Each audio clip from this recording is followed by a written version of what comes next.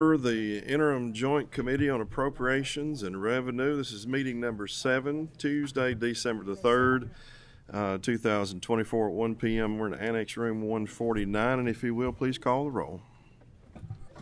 Senator Boswell. Here. Senator Deneen. Senator Douglas. Present. Senator Funke Frommeyer. Present Senator Givens. Senator Mays Bledsoe. Senator Neal. Senator Nemes. Present. Senator Webb. Representative Banta. Present. Representative Bentley. Representative Bowling. Here. Representative Bray. Present. Representative Brown. Representative Dietz. Here. Representative Dossett. Present. Representative Flannery. Here. Representative Fleming. Representative Frazier Gordon. Representative Freeland. Present. Representative Fugate. Here. Representative Gentry. Here. Representative Hart. Representative Johnson. Here. Representative McCool. Here. Representative McPherson. Here. Representative Palumbo. Representative Raymond. Representative Riley. Representative Stevenson. Representative Upchurch. Co-Chair McDaniel. Co-Chair Petrie. Here. We, we good on quorum? Yeah. All right.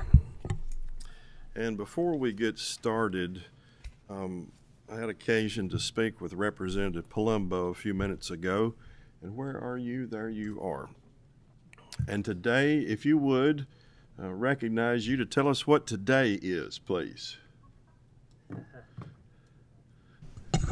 Well, thank you, Mr. Chairman, for reminding me.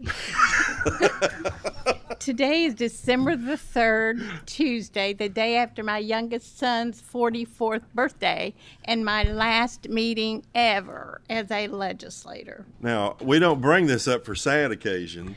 Um, I will miss you, and you know I will. But how many years have you served in, in, the, in the House? It's been 34, sir. If you can imagine how many years and hours of service just in attending committee meetings, not all the other stuff that goes with it, that is awesome. Thank you very much.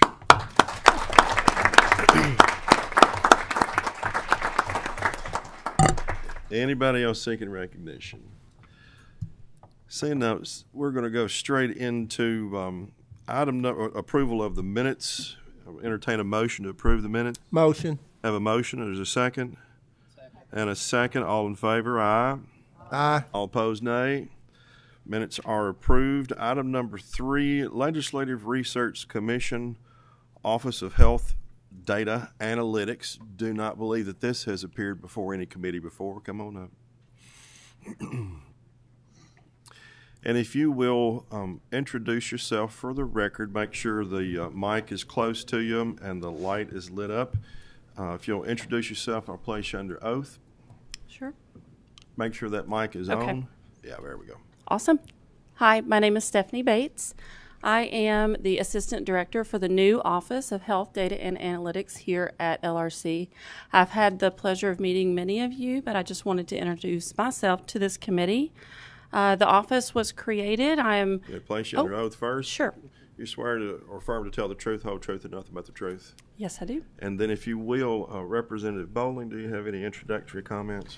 Yes, sir. Thank you, Mr. Chair. Um, as we work every year, as we get into our budget, which we are continuously working on, um, when we look through it section by section, um, unit by unit, um, nowadays when, we look at the, the second biggest general fund spending area, it is Medicaid. As we've looked at it, uh, you know, things have changed. It used to be 100% fee for service. Um, we've gone into the expansion back in 2013, 2014. We brought the MCOs into our state. We've seen enrollment numbers go up. Of course, we went through the pandemic. We really saw enrollment numbers increase quite a bit. Um, tr- coming out of the pandemic, we've seen enrollment numbers start to go back down. However, costs keep going up and up and up.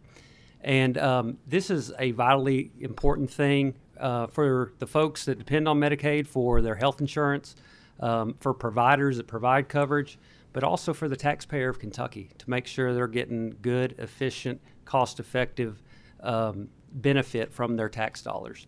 And so when we look at our budget going forward, we see this one area that continues to grow and grow and grow, even when enrollment numbers are dropping, and it should be maybe going in the opposite direction. So that causes us some concern. And so that's why if you look at the agenda today, um, it's going to look like a, a Health and Family Services agenda or a BR for Human Services agenda. Uh, there's a reason for that, just because this is a, a, vitally important area. I think one out of every three Kentuckians are on um, are on Medicaid, and so it, it's very important and something that, that we want to um, begin to wrap our arms around, get a grasp of, so that we know that the dollars we are spending they're being put to best use. So, back in the uh, in House Bill 263, the legislative branch budget from this year, uh, there was a five hundred thousand um, dollar appropriation for the Medicaid Oversight and Review Committee. Uh, the committee shall conduct an assessment of the current Medicaid reimbursement rates develop a proposal for the future rebasing of Medicaid reimbursement rates, and undertake additional activities as deemed necessary. So, from my understanding, um, Ms. Bates has been has just been brought on in this capacity, and uh, she's here today to tell us about what her office has been up to and what they plan in the future. Thank you. Thank you, Representative Bowling. Um, all coming from the appropriations, which is one small sliver of how do we get started, and I think you may have morphed into the Office of Health uh, Data Analytics, and if you will, please proceed. Sure. So yes, the Office of Health Data Analytics is is meant to be an office that serves the entire General Assembly to uh, provide program evaluation, analytics of data, uh, anything uh, health data related. Um, obviously, I just started in this position on October 21st, so we're getting a handle on what the needs are. But one of the first um, one of the first projects to Representative Petrie's uh, point here is a project around just looking at Medicaid reimbursement rates. So we're calling it a reimbursement study. It's very new and, and kind of getting off the ground. I can't really comment on anything because it hasn't, it's just getting going. It's going to take a lot of work um, and collaboration with a lot of um, a lot of other areas of government. So, with that, if there's any questions, I'm happy to answer those. So, just for clarification purposes, um, this is LRC proper, nonpartisan. That's correct. And really limited in scope at this point, uh, data analytics and um, potential study for rebasing of cost for services. That's correct. Okay. Uh, anything else you anything else you want to make sure this committee understands about your office? Do they know what's your name again? My name is Stephanie Bates. Uh, and and honestly, I've met with several of you already. I've tried to kind of get out there and one on one meet with each, each, of you. So if any if I haven't met with you and you would like to, please let me know. I don't want to waste your time either. So there's a phone number that we can find through the LRC easily enough. There is, and I cannot recite that to you right now. And that's now. fine. We'll find that. And your email, can you can you give yes, us it is that? Stephanie dot Bates at kylegislature.gov. Very good. Anything else? Any questions, comments? Representative Bowling. Thank you, Chair Petrie. Um, quick question on the rebasing of the reimbursement rates. I know that that is one of the major things you're tasked with uh, of studying. When could we expect to start seeing some data, see a report? What What is the timeline and date on that? So the goal it's it's really in two phases. The first phase, we're hoping to get a report to uh, to you all at, by the end of January, uh, and then the phase two by the end of February. Mm-hmm. Anyone else say for comment or recognition? Seeing none, thank you very much, Ms. Bates. Thank and, you. Uh, look forward to all of us working with you.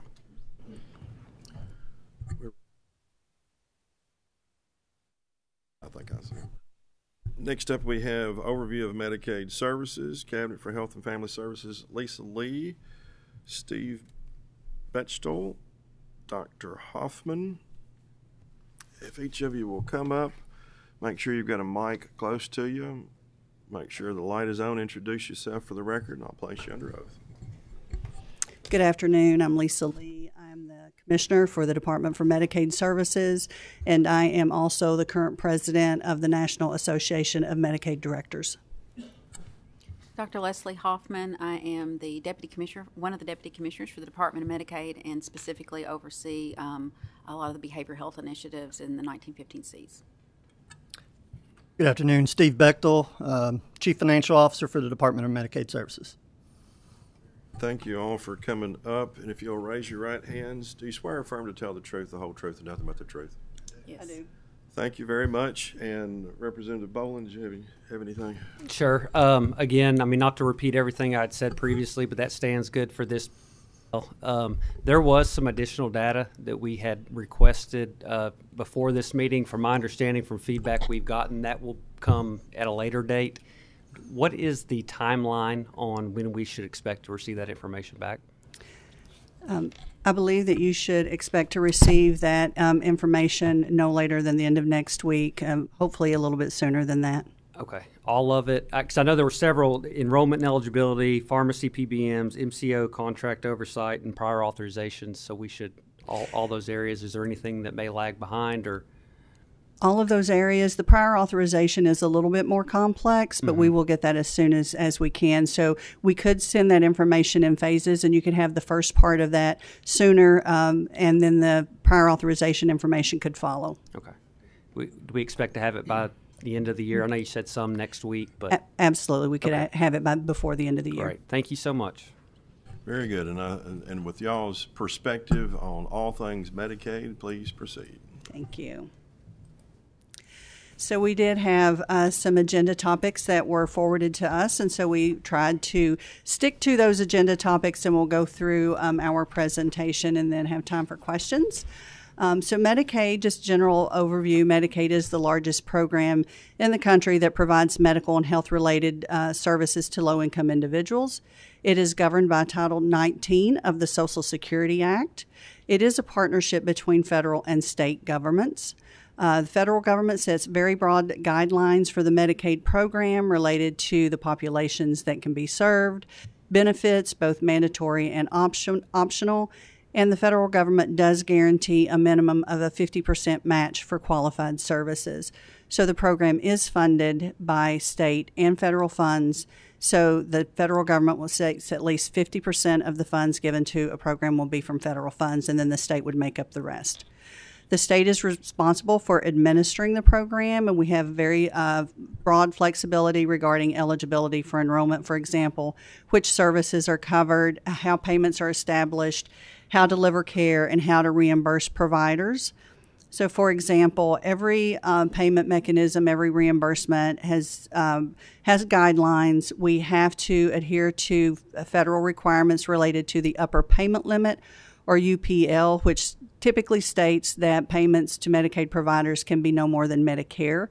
Uh, payments. There are a few exceptions to that, such as the federally qualified health care centers and rural health care centers, which receive payments based on a prospective payment system rate, which means that they receive um, the cost of doing business. It's uh, 100% of their cost based on cost reports.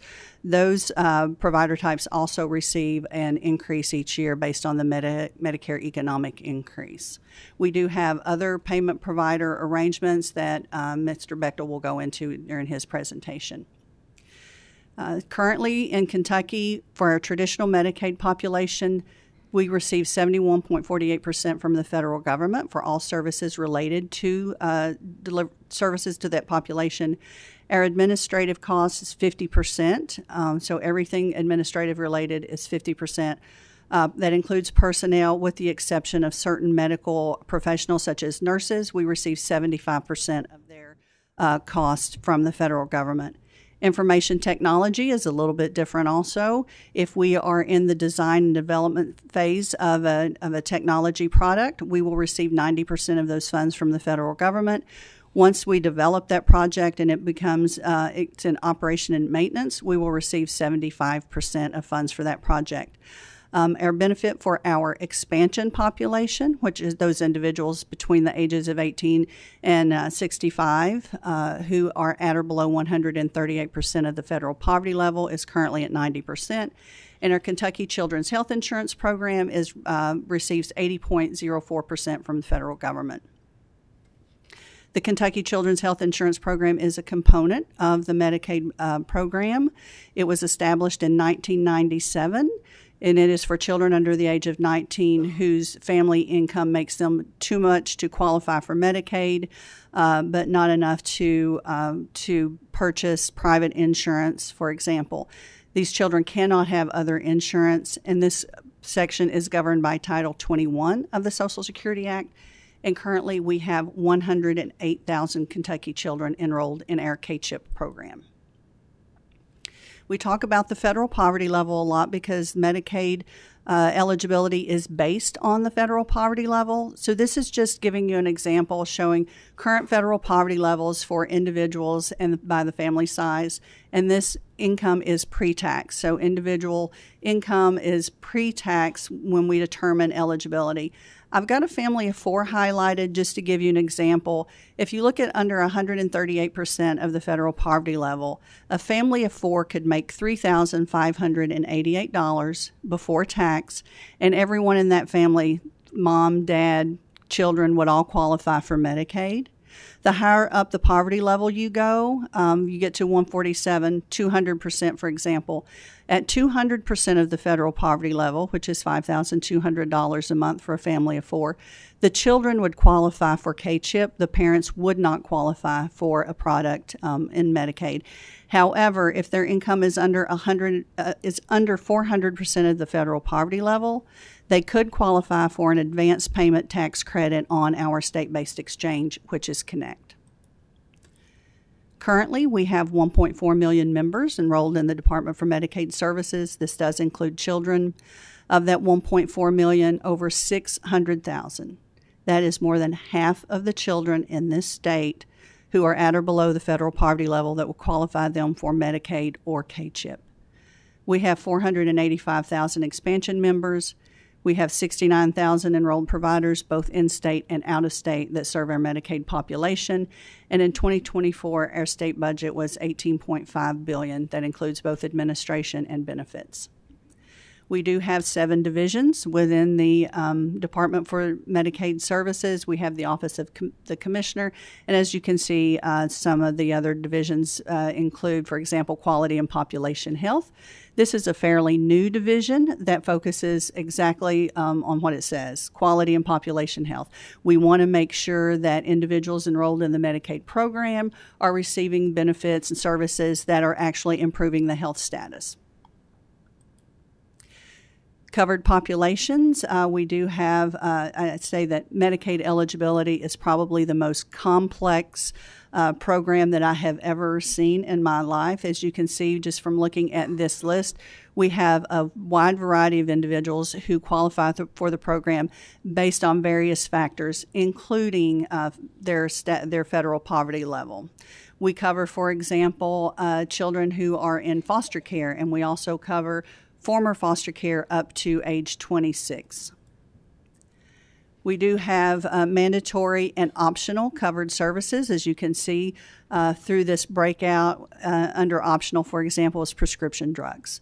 But we know that that is not an optional benefit. If an individual is ill, they need medications. Having a pharmacy as an option would not uh, lead to them improving their health status.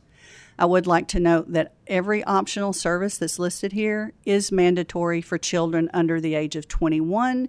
That is under our early and periodic screening, diagnostic, and treatment benefit. This benefit states that children who are enrolled in Medicaid and children who are enrolled in K-CHIP should receive any service that is medically necessary, whether or not that service is mandatory or optional, and as it is listed in uh, Title 19. And this program is essential for children to grow and reach their full potential. It does have two components. That's the screening component, which is a well child exam, uh, the treatment component, which is in the event of a screening, any sort of uh, defect or health issue that is determined or found should be treated and uh, covered through the Medicaid program. Medicaid organizations are also responsible for insur- ensuring this benefit is available to all children enrolled in their uh, in their MCO. Uh, enrollment trend, as you can see, uh, this is January of 2023. Uh, we reached a peak, a peak of uh, 1.7 million members in the Medicaid program. During this time, we were in the public health emergency related to COVID. Uh, during that time, also, there was a, we could not disenroll anyone from the Medicaid program. Traditionally, we have a recertification or redetermination period for individuals on a routine basis, typically annual, to make sure that they continue to meet the, the uh, qualifications of Medicaid eligibility. However, during the public health emergency, that redetermination was suspended, and the department received an additional 6.2 percent um, increase in our federally matching from the from the uh, federal government. So we, re- received increased matching funds during that time period. In April of 2023, we re implemented our redeterminations, and as you can see, we have had a decline in our enrollment, and our current enrollment stands a little over 1.4 million. This just gives you a picture of the enrollment by county. As you can see in the eastern part of the state, the orange uh, area, orange yellow looking, anywhere from 61 to 80 percent of individuals in those counties are enrolled in the Department for Medicaid Services.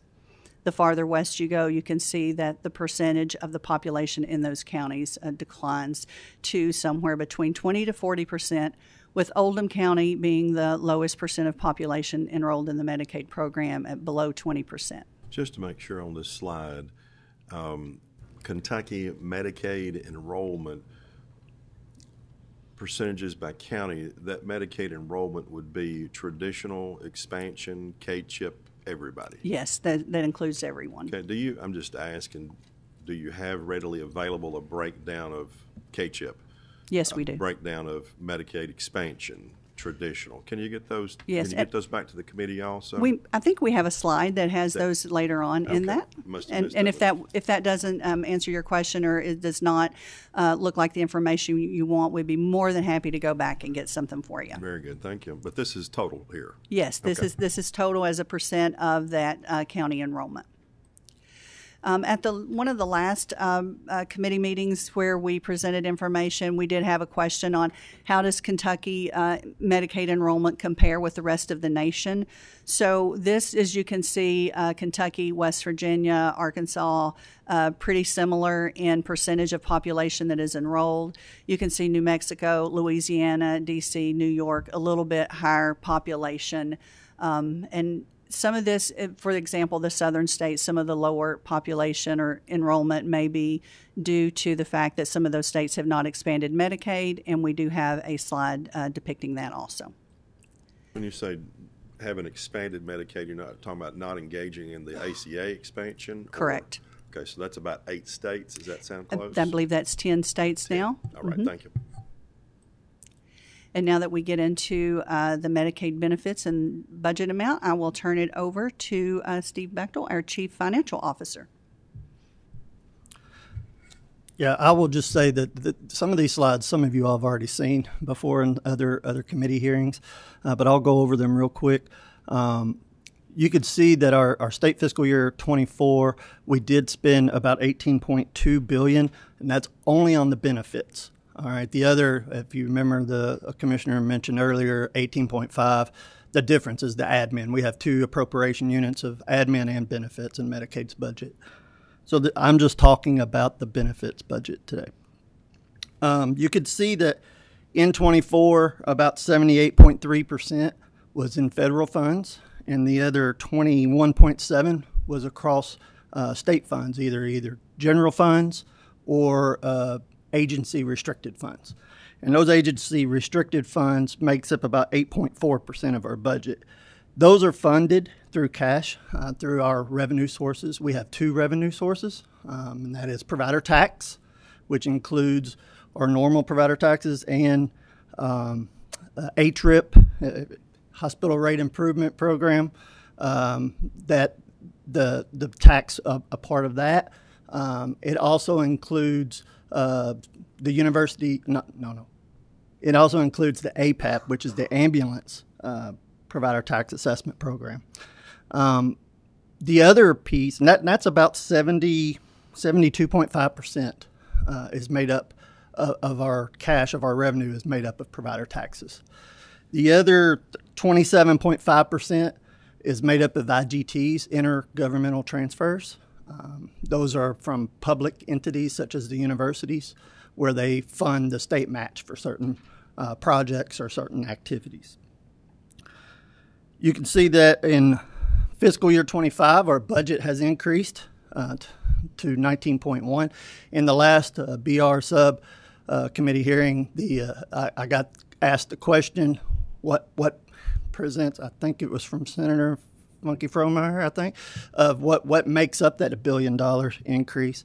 We went back, about 70% of that is detailed within the budget itself, um, within for that line, and they are uh, the fund, the new slots, the additional slots for all the all the uh, waiver programs, um, the waiver rate study that we're uh, getting ready to implement, uh, the uh, uh, rebasing of nursing facility rates, the SMI waivers, substance use uh, disorder waiver, incarceration waiver, uh, reentry, I should say, waiver, um, and the and the health and community-based services for individuals with the uh, SMI and SUD. Also included in that is the personal needs allowance. If you recall, there was a in House Bill one to implement, and we did do that. So that's what makes up about seventy percent of the increase um, from twenty four to twenty five. The other about 30% of that is from increased cost in healthcare. Uh, also, it, the FMAP changes. Uh, when we did our, our budget in 24, Commissioner mentioned to you earlier our, our current FMAP, or sorry, Senator Douglas, federal medical assistance uh, percentage uh, is what FMAP stands for. Um, so we get 71.48% currently. Uh, back in uh, state fiscal year 23, our blended was 78%, and that's due to that 6% increase. So that's why we have an increase there of that FMAP. Uh, that's just a, a, switch between federal funds and state funds, but just wanted to point that out to you all. There is an increase there on the state fund side. But if you recall, we did not ask for any general funds uh, to support that. We are using our restricted agency funds to, yeah, to do that. Real quick, a couple of things on that. Um, one, how do you book account for uh, pharmacy rebates? Uh, does that show? How, where does that show up at? Uh, drug rebates are not considered a revenue source. Mm-hmm. It is an offset of expenditure, so it's just offsetting our current expenditure. So um, we collected, and I, will go over that here in a second, but sure. you can see where we collected uh, 1.5 billion in, in drug rebate. We already have that built into our budget. Mm-hmm. That's why we didn't ask for any additional oh. funds. But if we if we if it wasn't for them to be in the budget or in there, we would have a higher ask on the general fund stuff. Yep. Second, thank you. Secondly, um, on the waivers, mm-hmm. um, in general, I want to make sure I understand this. when a waiver is pursued, I think there has to be an analysis that shows fiscal neutrality or lack of impact. Now, we're going to get into semantics about what that means at the federal level and what I'm thinking about it from a budgetary consideration. But when a waiver is pursued, there's supposed to be fiscal neutrality. Fair enough? Yeah, it's budget neutrality is what okay, they call so, it at CMS. Right, budget yeah. neutrality. So whenever we hear about pursuing of any waiver, that has to be presented at the federal level, and they mm-hmm. have to go, yes, that analysis is correct, budget neutrality, correct? Correct.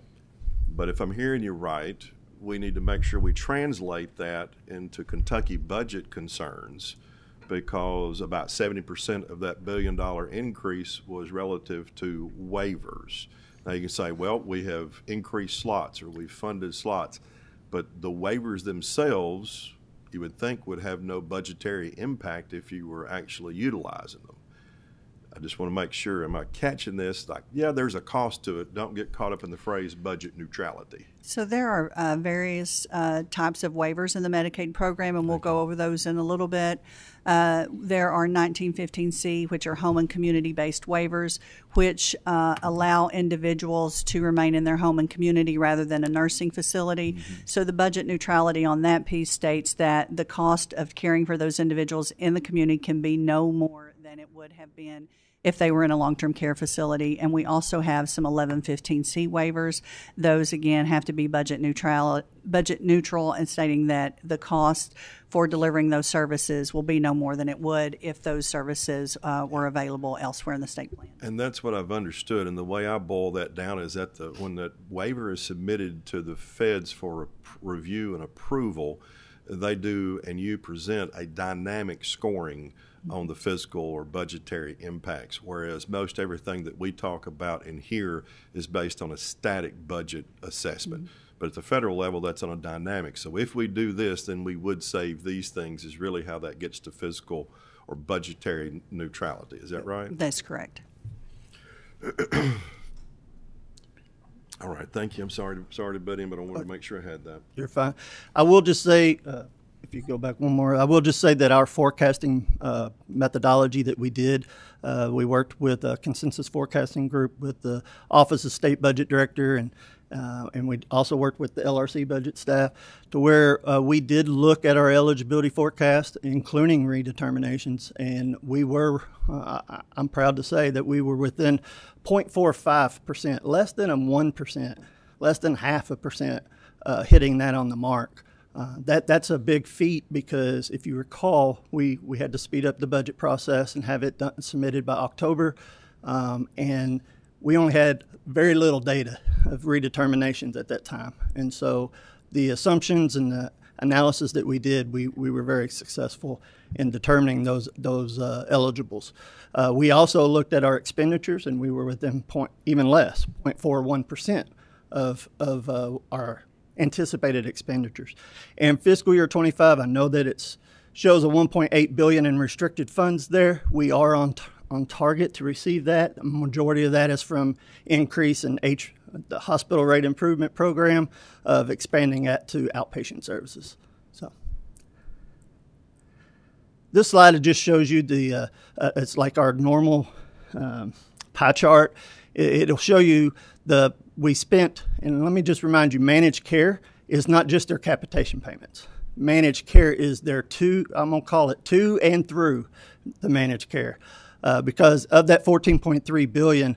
Uh, there are a lar- there's about 30% of that is tied to the directed payments that I've been talking about. And I'll, I'll have a slide for you here in a second on that. Um, the other items that's listed here in the in the multicolors, those are your fee for service, uh, individual uh, broken down by provider types, and you can see that the largest piece is those uh, alternative community care. That's where the waivers are. They're in that piece of the pie, as well as uh, home health is in that. The other large piece of the pie is, is nursing facilities, um, which is rightfully so. That's you. You would expect that in our fee for service population, that nursing facilities and waivers would be the two highest highest uh, spends. Next. So here's a an increase. You can see I'm showing you an increase from 2023 to 2024, and where those increases occurred. Uh, we had an increase of 1.6 billion dollars in total. Um, from 23 to 24. Majority of that 20 of that is in the managed care line, uh, but all of that managed care line uh, is uh, related to, uh, like I said earlier, the the uh, addition of outpatient services, the expansion of the HRIP program, the Hospital Rate Improvement Program, uh, to include outpatient services. The the other items there, you asked about drug rebate, Representative Petrie. Uh, you could see that we had 1.5 in 23. We had 1.5, almost 1.56 in uh, 24. The reason for that increase is what we have to look at is you can only get drug rebates normally on maximize your drug rebates on name brand drugs. The generics don't pay as much of the drug rebate. So we have to look at a net, what we consider a net net effect. Does it does it help? The, does it save the state money to do the uh, higher uh, name brand drug if we get the drug rebate? Is it better to do it that way versus a versus the uh, uh generic side? But you could see that overall we had a 9.8 percent increase. The fee for service we'll go into here in a second. Uh, that was mainly associated with the, the, waivers. If you recall, in House Bill 1, we were asked to increase waivers 10%, 10%, and 50. House Bill 6. House Bill, you are correct. I'm sorry. House Bill 1 is this year's. House Bill 6 was the last two. So, my apologies on that. I mentioned earlier um, about the directed payments. Uh, the, the comment I just want to make here is of that $14.3 billion that was to and through the managed care organizations, about, you can see here, 4.366 billion, 4 billion, 366 million was associated with these three directed payment programs. Um, and these programs, uh, over the last five years, from state fiscal year 20 to state fiscal year 24, we have spent and paid out $12.9 billion uh, to hospitals, ambulance, and uh, the universities uh, for these programs. It will expect it, it's expected to even grow next year. As you recall, Senate Bill 280 passed this year where we are looking at uh, expanding another, which we have already submitted that preprint to CMS for approval. Um, we're waiting on getting that approval to be effective 1 1 of 25, and that's for the trauma centers uh, to, to expand that hospital payment. The last slide that I'm going to go over is uh, about the waivers. You can see the, uh, we mentioned about the 10% waiver increase that we were supposed to do in 24, and you can see uh, across all waivers, you can see that 10% has been applied to these waiver rates. Um, you'll see a little bit lower for, for like support for community living and ABI long term care. The reason for that is the in the first year of the biennium, we were supposed to increase 50% for those residential stays. And so it, it's kind of it kind of dilutes that percentage when you look at it because we kept those 50% but then you're adding another 10%, uh, you don't see a true 10% increase when you when you you don't have an apples to apples comparison there. And I believe that's all I have on the budget side. And then just for clarification, I think you're right. So for we had 22 was House Bill 1 and then uh, in 24 we had House Bill 6. Oh, I was Just right. making sure the 23 and 24 will be under 1. Yeah, you're good. All right. Thank you. Yep. So, we've mentioned a lot about waivers uh, during this presentation. Uh, the purpose of waivers uh, in the Medicaid program, it, they do allow states to test and develop ways to deliver services outside of the Title 19 regulations, for example. We can waive certain rules that apply to the Medicaid program and do some uh, testing to make sure that services are being delivered uh, that actually meet the needs of individuals in Kentucky. Uh, if, if, all, we, if, we, could hold mm-hmm. just for a second, Senator Frommeyer, did you you've got a question? It may have been on the budget side of life.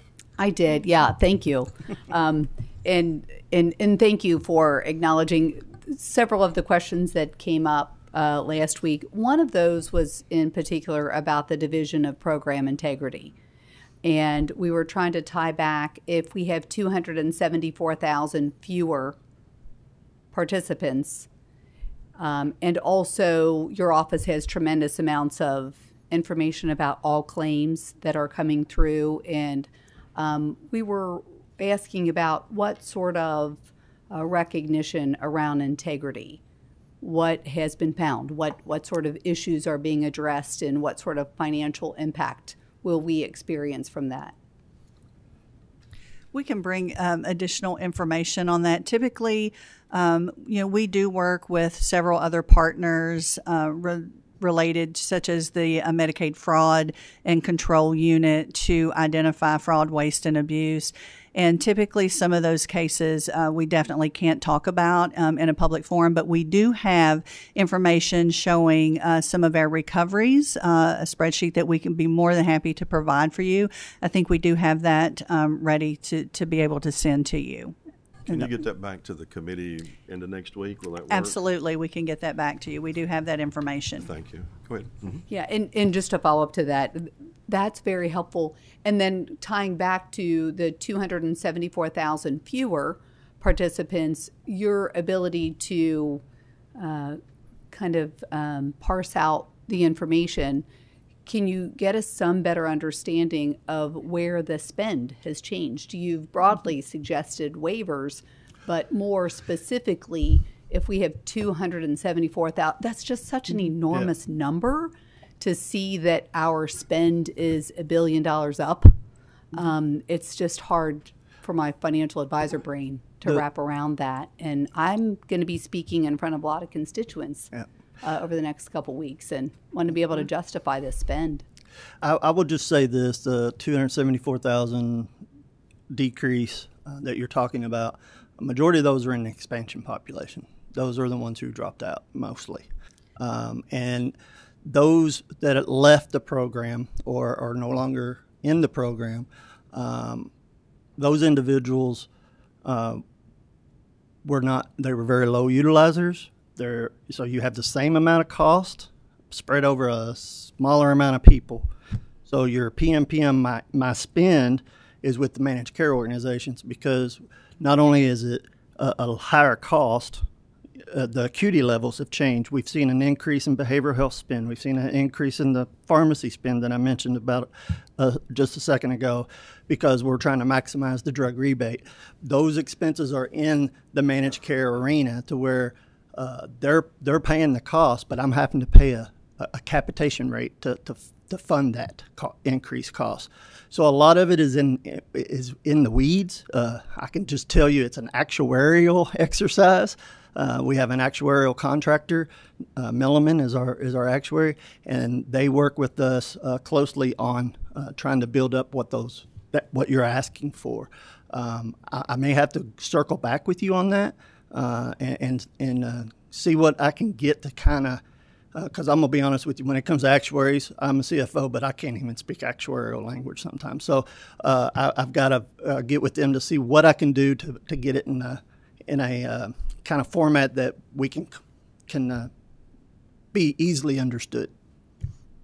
tackleable format Yes. so we can get to the issue Yes. But- and, and that's i think that's the point we got to get to the issue Okay. it's, it's significant Very good. and Sen- people are sicker than ever Yes. Very good. Thank you. Senator Givens? Mr. Chairman, thank you. And a quick uh, two-part question specific to the direct payment program. If you could back up a slide or two, that, that's perfect. Uh, one more, I think. That direct payment program that you mentioned and the, the positive impacts it's having on our providers, very positive impacts. Um, pleased with the program, pleased with everything that I think I'm hearing about it, but a little bit of concern. Number one question is Are you hearing rumors about the federal government tar- starting to take an eye on these programs and say, just don't think that's a path we want to continue going down? Are you hearing any concerns about that? And then number two, our statutory language that creates this program and permits it, is it contingent on the federal government utilizing this program, or would we have to make some changes if the government, federal government, says we just don't like doing this anymore? So, so let me just answer the first question uh, and, and remind me of the first question again. Are the feds starting to have concerns Yes, about this okay. program? Thank you. Uh, they have not voiced a concern in that program or in any of these programs. I will say this: uh, the turnaround time in getting one approved uh, is is drastically slower. Uh, they're they're really looking at it with the fine tooth comb.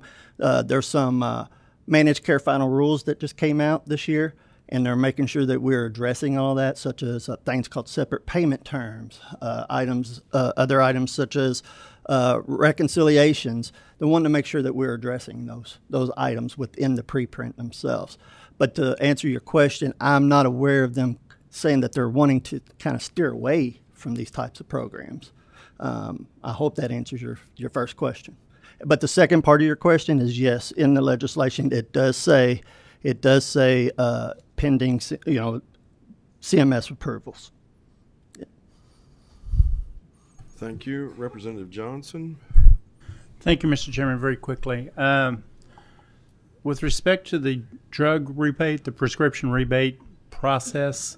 Here I am. Yeah, sorry. Uh, I was trying to hide behind that little robot thing there. Um, I, I think I want to take a deep dive into that process, but not here today. Okay. Would you guys just make a note to whoever the subject matter expert is? Could they just reach out to me and, and we'll find some time to get together and, and dive into the weeds? And to more save than a I little want to. time, I would just add uh, myself and, and um, Vice Chairman Bowling and Bray in that. Okay. I will say this on drug rebate that it's uh, 80 about 80 percent of that is federal dollars, so all of that has to go back. So you're looking at about a 20 percent uh, is, is coming to the state. For Do we have any benefit. say in that process, or is it strictly? I mean, we're just bowing to the federal. We do not have any say on if we pay the federal dollars back. No, we don't have a say in that. I think that would be a good discussion to take a deep dive on. Yes, Okay. sir. Thank you, Mr. Chairman. Thank you. Thank you. Representative Flannery? Yes, sir. Uh, Thank you all. Um, I guess two questions. Uh, One, it's my understanding that there were rate increases from the cabinet to, um, from, I guess, the cabinet to MCOs this year. Is that accurate? Yes. Um, How much were they and why were those rate increases? Why did they occur? The rate increase for July 1st of this year uh, was, uh, I can't, I'll have to get back to you on the actual percentage of that. Um, it, it, it's evading me right now, but it's due to what I was telling you earlier about the, ex, the uh, acuity of care um, and the higher spend of things that we saw coming down the pipe. When we first set, when our actuaries first set, they make assumptions, right? They make assumptions that, hey, uh, we're, we're going to have this amount of increased costs. But if they're low on those trends or they're low, then we have to look at maybe a uh, mid-year adjustment, which is what we did on July 1st. And if I could just add to that, um, all of our rates for our managed care organizations have to be actuarially sound by federal guidelines.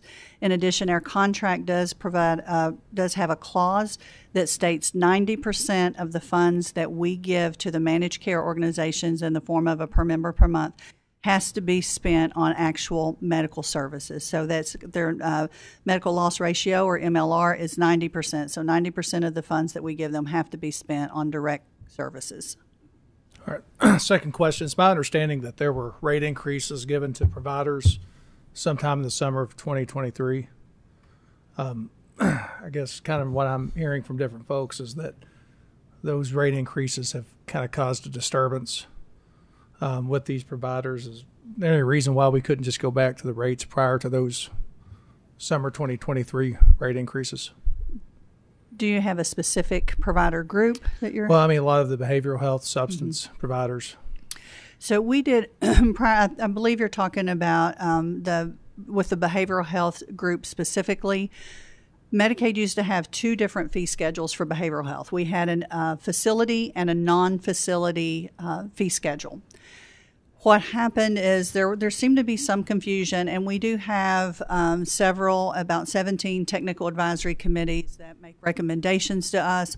And a recommendation was made to combine those fee schedules. And when we combined those fee schedules, we took the highest rate um, on each fee schedule for that particular service, which did result in some uh, services, not across the board, but a few services uh, did receive an increase. Some very specific procedure codes received an increase. Uh, recently, the department, the cabinet has met with the managed care organizations. We have met with providers. We have developed a, um, a strategy, if you will, um, to um, to manage some of those costs. We have developed uh, a uh, guidelines for providers with specific codes such as psychoeducation and peer support services. Uh, we have reduced some of those codes. Uh, that reduction will take effect uh, January 1st of 2025. Thank you. And the only other rate increases that I'm aware of is the nursing facility where we did uh, rebasing of their rates uh, starting 7 1 and 25. And we're going to take one more question, then we're going to let you get through hurriedly through the rest of the slides. Representative Fleming? Thanks, Mr. Chairman. I want to uh, expand a little bit more on the behavioral health side. uh, it sounds like um, the expenditures are going up, but then again, on the provider sides, uh, and I'm gonna be full disclosure, I'm a provider, not me personally, but I run the agency. We haven't seen any increase in all. And looking at my costs, it's about 80% I, or $80 I get on reimbursement for Medicaid, and it costs me about $110 for somebody to walk through my door, which means I have to make up that difference.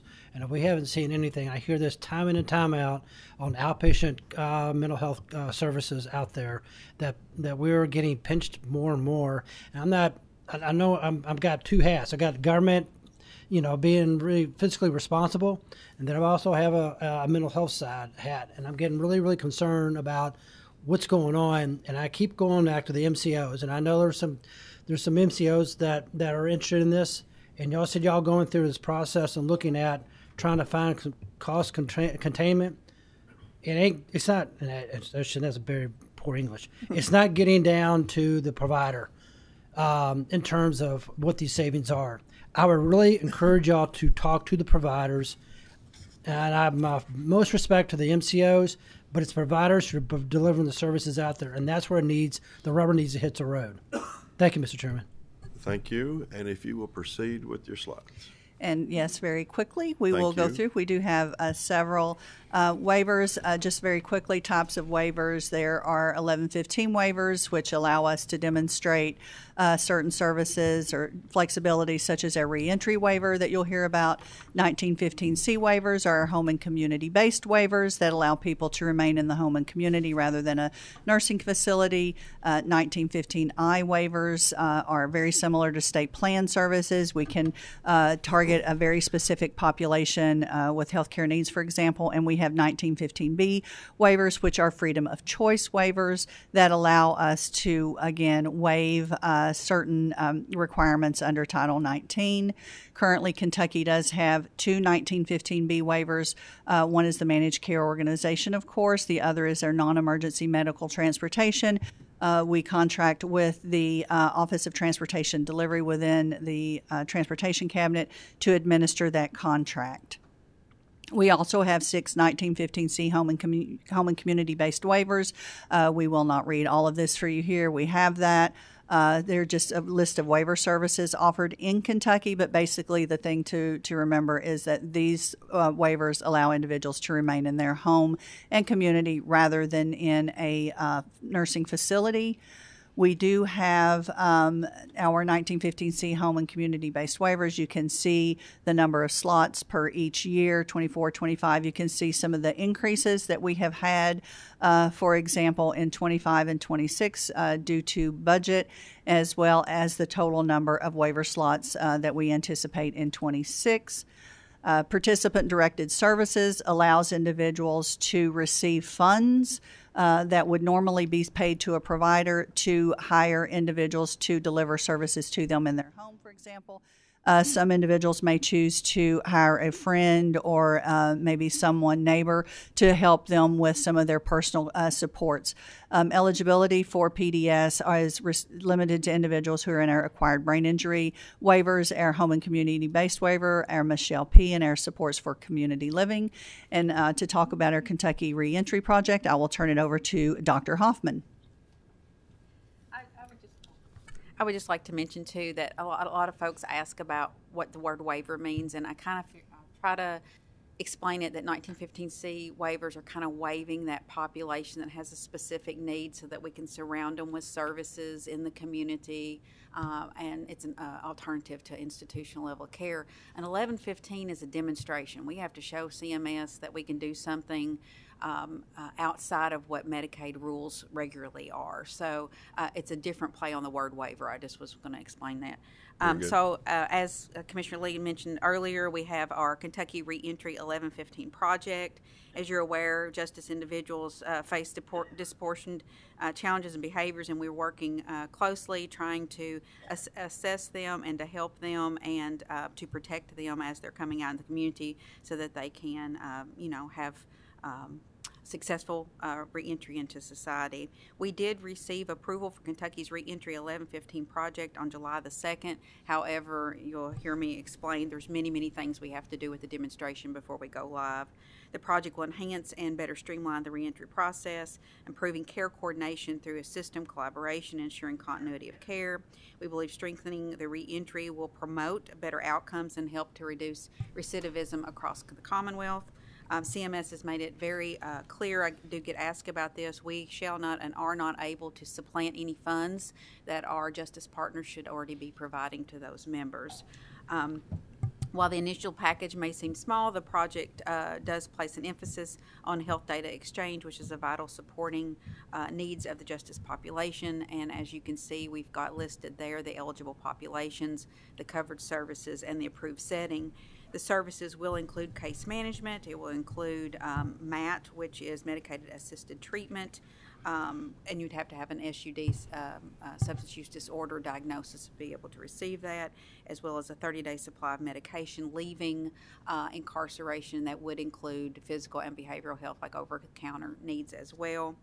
Um, this initial package allows us to have an infrastructure that we can make strong and build upon it for future uh, services to be added, as well as amendments to be made to CMS.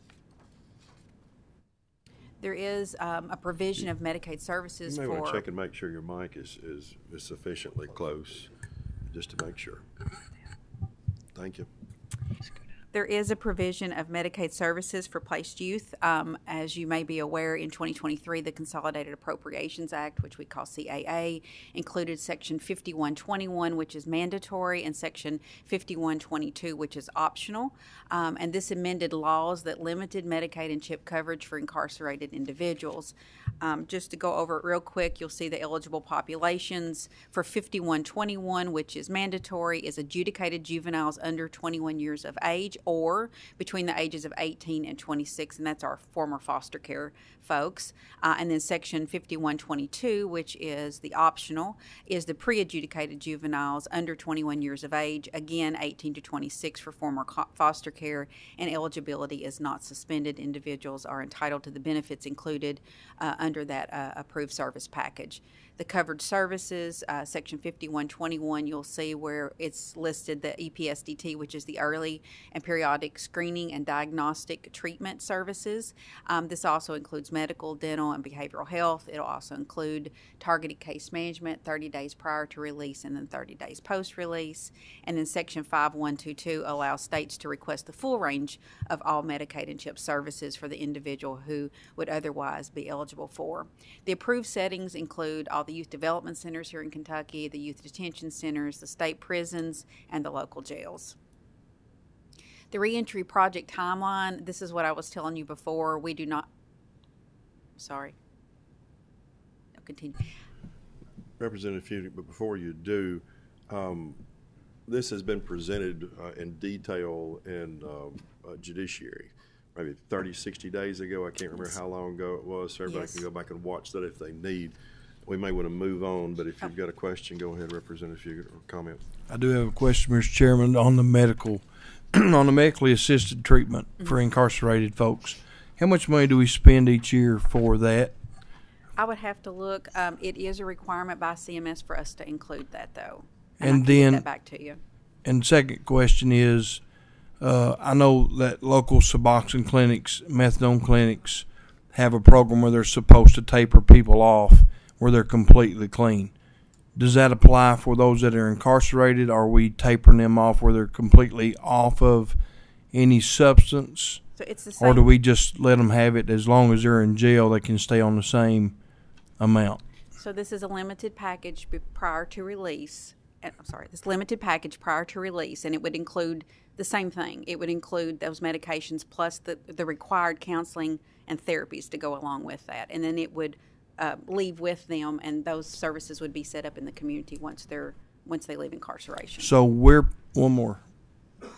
So after they're released from jail or prison, are we continuing to pay for that medically assisted treatment for 12 months after they're released? The MCOs will be required to provide case management for 12 months after that. They will go to the MCO of their choice after leaving incarceral setting. Thank you, Mr. Chairman. It's a topic for further discussion, because I think there's also uh, an option phase one, option phase two, uh, that may be in the works later on after this first installment comes. Uh, Please proceed, and we are crunched on time, so if we've covered it in another committee, you may want to slip through fairly fast on. 'em. We, we can skip through um, the the waiver, though. All of that information was covered uh, uh, previously. Uh, one slide about the waivers, I think you may find uh, you know interesting. Again, talking about the cost and the increase in the program, uh, you can see uh, in 20. Uh, 23, 24, an increase in those waiver programs. Again, that is related to um, to legislation with the 50% increase in services for certain services in addition to the 10 and 10. Um, we did have uh, on the um, some of our questions about a Medicaid state plan. A Medicaid and CHIP state plan does describe how the state administers our program. It also gives assurances uh, that the state will abide by federal rules and allow us to claim federal matching funds for the program. Uh, our state plan identifies groups of individuals to be covered, the services to be provided, reimbursement methodologies, and administrative activities. Anytime we make a change to our Medicaid program, we must do a Medicaid state plan amendment, which is a SPA. When I first started working for Medicaid, I thought Medicaid covers spas. I, you know, how do I get into that? And uh, it was not. Uh, I have very uh, have a lot of information now on spas, and it is not in, in anything what I uh, envisioned when I first started working at Medicaid. Uh, CMS does have 90 days to make a decision or issue a request for information uh, related to any spa we submit. We are required to give public notice related to any changes that result in payment methodology, eligibility, or cost sharing. Uh, these are the number of state plans that have been submitted over the years from 2014 to 2024. You can see in 2023 um, that was during the public health emergency, uh, where most of our a larger number of state plan amendments were submitted. A total of uh, 101 state plans were submitted from 2014 to 2024. Of those, uh, 45 were submitted due to federal requirements. 27 were, were submitted to make changes to the program based on state uh, uh, legislative requirements. The remainder were based on recommendations from our advisory council or the 17 technical advisory uh, committees that uh, that provide information and, and, recommendations to the Medicaid program. I have given just a, an example of some of those. Um, uh, uh, spas that were resulted um, as a result of input from other interested parties. Overview of the Affordable Care Act. The Affordable Care Act allowed states to expand Medicaid to adults with income up to uh, 138% of the federal poverty level. That's about $20,000 for one person in 2024. Again, that is pre tax.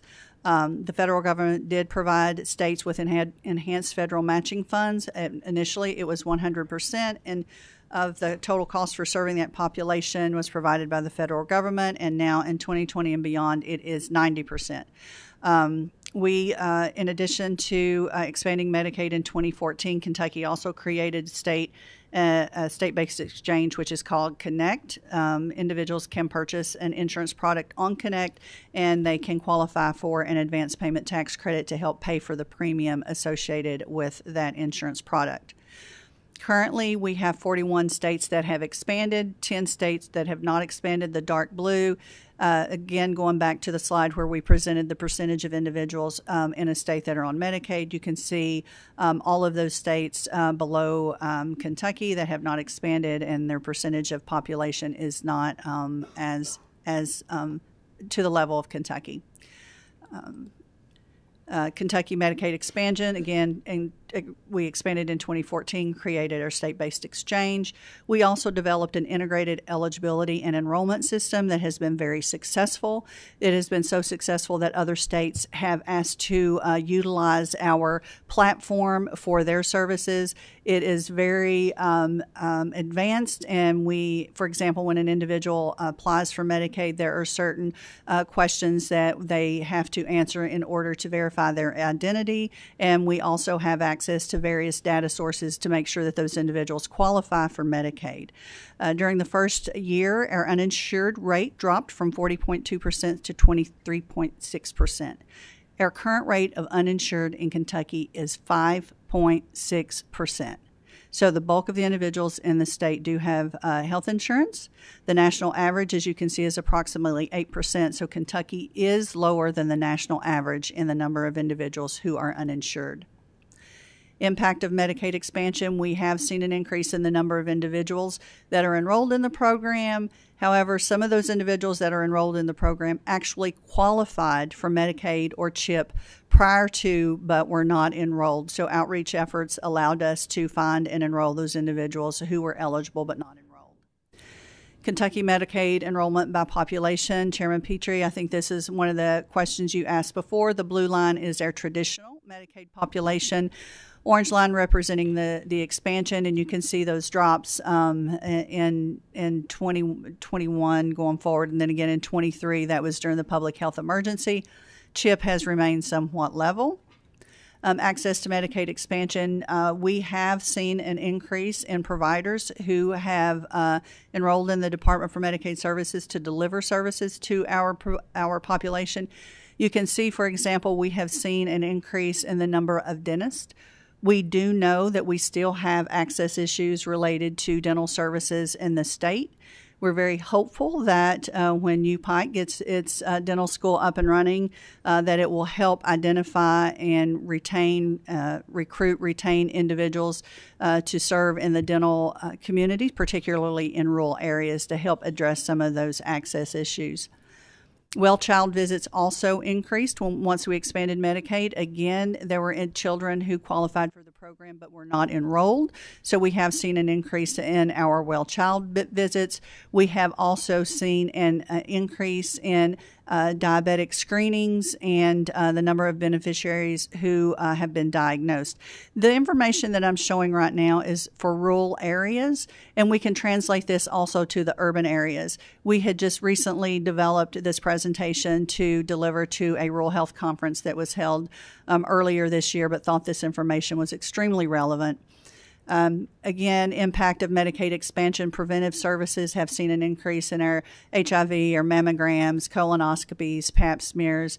So basic, basically, a summary of our Medicaid expansion is it has increased healthcare access, particularly in rural areas. But again, we can translate that to urban areas, seeing an increase in well child visits, diabetic screenings, uh, diagnosis. Um, and here's the, the big thing that we have seen since 2014 we always look at America's health rankings to see where Kentucky ranks in, in health status.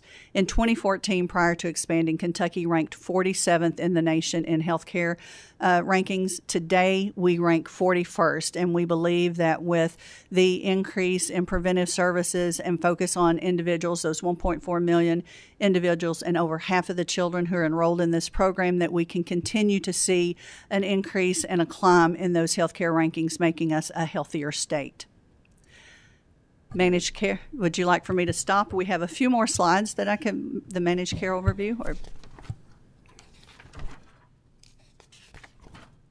How quickly can we get through those? Because we're about to go into managed care, I think, here in a little Yeah, bit. I can, I, uh, the managed care, again, just history implemented in November, implemented November 1st, 2011. And one of the main reasons was uh, budget predictability. They have to provide all of the necessary services. They do not serve members who enrolled who are enrolled in uh, long-term care facilities or in 1915C waivers, those home and community-based waivers. Difference between the populations, basically, um, fee-for-services, long-term care. MCOs have predominantly children, adults, um, other than elderly um, individuals.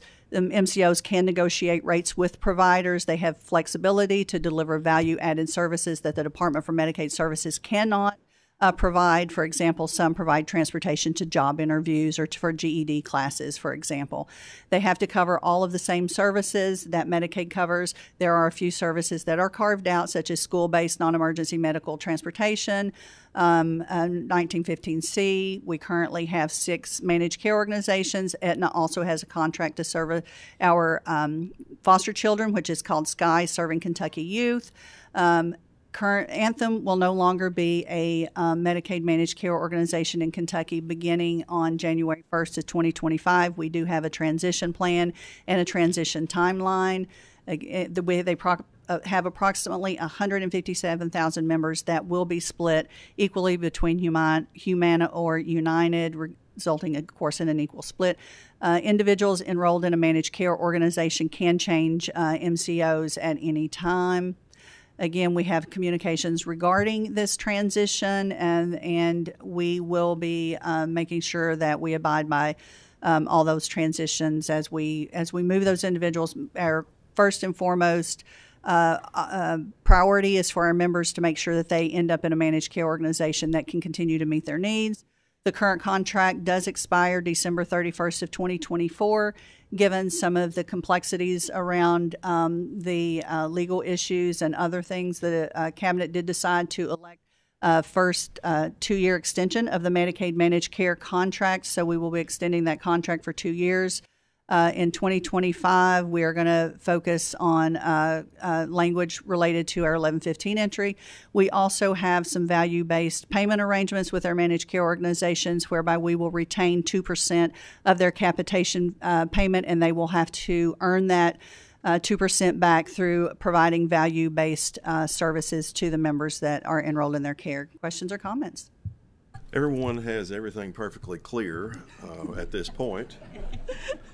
Perfectly clear. Appreciate the presentation, and I'm sorry for the Russian, but we've got to uh, really quickly though. Uh, Representative Bowling, and then we've got one more question.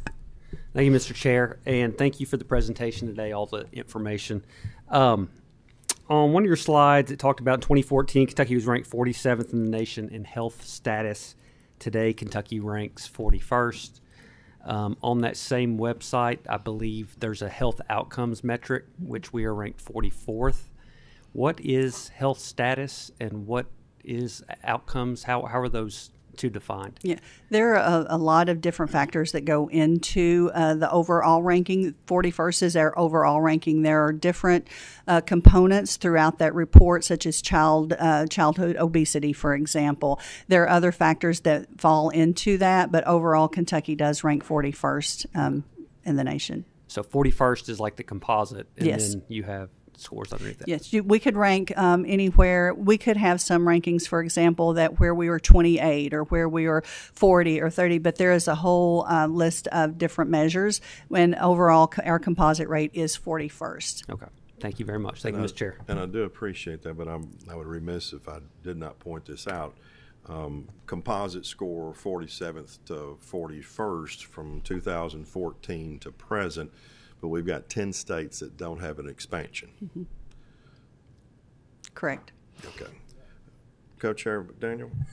Thank you, Mr. Chairman, and uh, thank you guys for the information today. Um, so we've talked a lot about the high-level stuff, um, and I want to ask one more somewhat high-level question, and then delve down to the individual level. Um, we talked about the 90% medical loss ratio. Um, when an MCO offers incentives for people to do things, like you get a gift card for going to a doctor's visit, or a car seat for taking your child to a well visit, or things like that, does that count towards your 90% MLR? It Depends. The, that's considered a value-based purchasing that, that they do, and that does that does get put into the calculation. So when we pay people to go to the doctor, that counts as medical care. Yes. Okay. Um, secondly, um, if an individual misses an appointment, does the provider still get paid for that appointment? No, they do not. What happens to the individual who misses it? Do they then have to have a reimbursement to the cabinet of any type or to the system? No, they do not. But we do have a missed appointment tracking log that providers can go in and input information pertaining to individuals who do not show up for their appointments. The purpose of that log is to assist individuals find out why they did not go to their appointment, try to help them. For example, is it a transportation issue? Did they lack child care? Could they just not get there? Could they not get off of work? Okay, so, but but if if it becomes kind of a habit for somebody, if if you've missed say three appointments in a year, or if you've missed two with an individual, the same provider, is there any penalty at all for missed appointments in the system? There's not for the member, no. that is member. against federal regulations. Okay. Um, what per, at this point in time, we looked at this probably 10 years ago, but what percentage of the adult Medicaid population is using tobacco of some sort? I don't have that with me, but be more than happy to go back and Could, get could that. you dig in and Yes, know? I mean, I remember Program Review looked at that several years ago. I want to say it was 60 something percent um, was using some type of tobacco. Now, can we charge a surcharge like you can in, or it, it, it, I might not be phrasing it correctly, but can we force somebody who uses tobacco products to pay more for health coverage? Not in the Medicaid program. It's against federal regulations. Okay. And then lastly, um, if in the course of regular medical treatment um, it does come up that someone has used Ill- illicit or illegal drugs, um, is there any way to penalize that person in particular? No, it's against federal regulations. Very good. All right. Thank you. Relative to the information that, that that Chair McDaniel requested regarding tobacco, can you get those back to us by the end of next week, back to the committee? We will go back and do our best, and if it's going to be delayed, we will let you know. Perfect, thank you. Last, I think, um,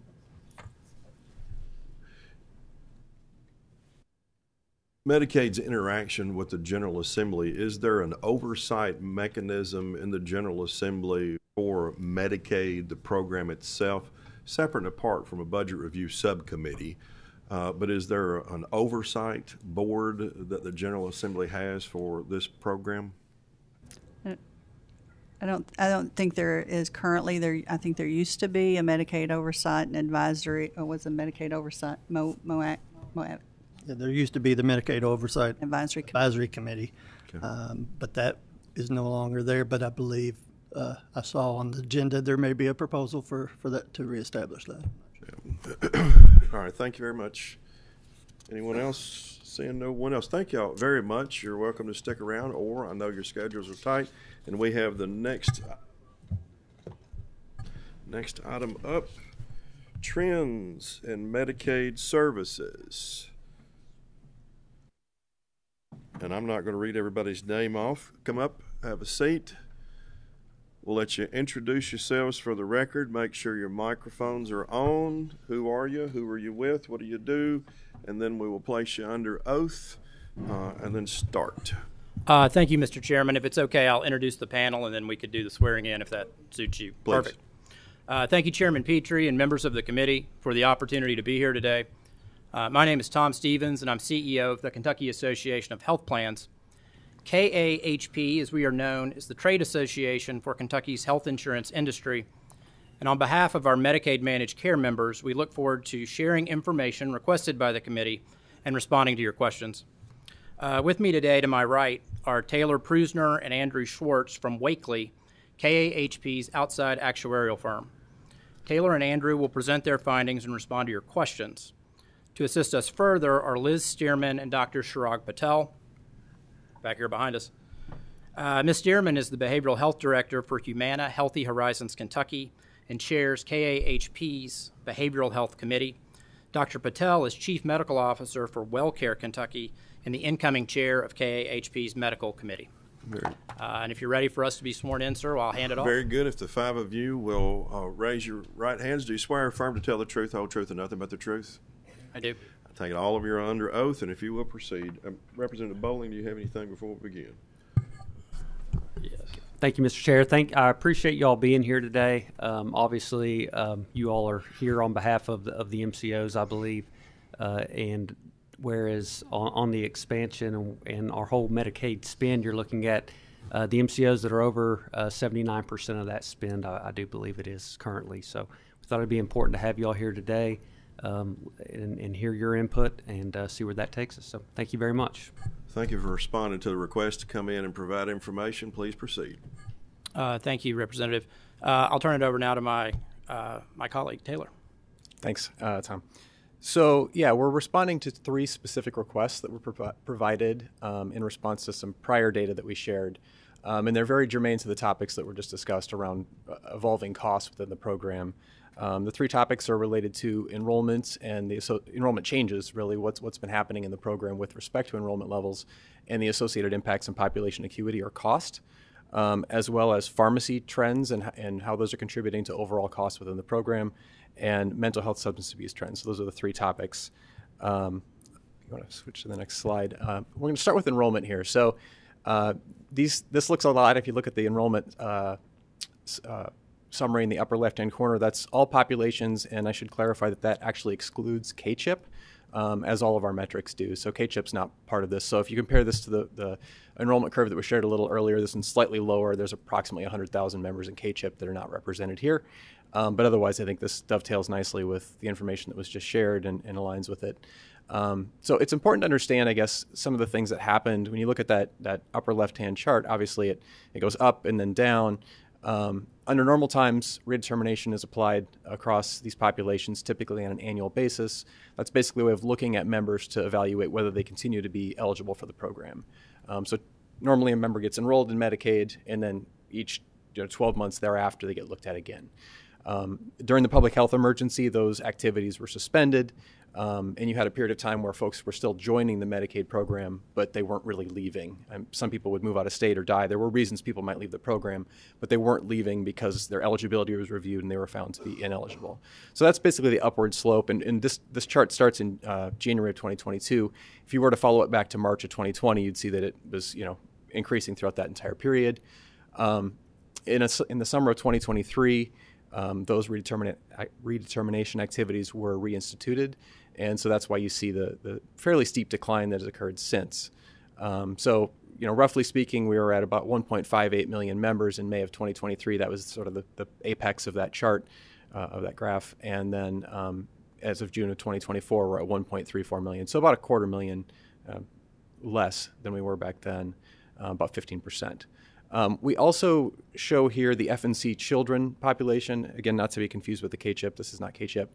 Um, and the due to a waiver that the state uh, submitted, um, redeterminations have been paused uh, for this population and the extension. That the, the, pause in redeterminations has been extended, um, so that's why you don't see that downward trajectory. So, um, just wanted to point out that there's a little bit of a nuance there with that population relative to others. Can you go to the next slide, Tom?